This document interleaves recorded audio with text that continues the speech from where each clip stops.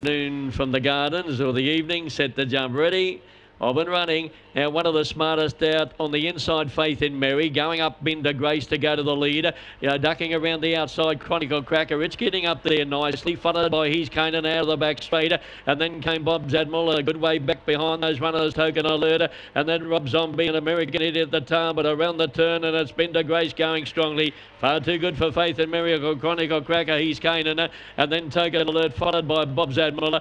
A good way back to American Idiot. And Rob Zombie was one of the last to pull up. Winner number four, Binder Grace, straight out on the bunny, and uh, she's been too good after that by Collision. What a good win. And then traded shortland by Robert Smith. Second to number one, Faith in Mary, Magamba Magdalena for Lenny Rendino. And number 10, Chronicle Cracker by Bitchley No Crackers for Ian Darcy. Fourth to number two, He's Canaan.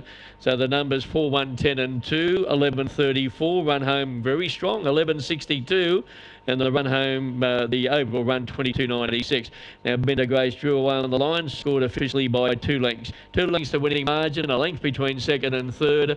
The winner to pay 450, 160, 220 and $2 even. 4, 1, 10 and 2 after the third event from the Gardens.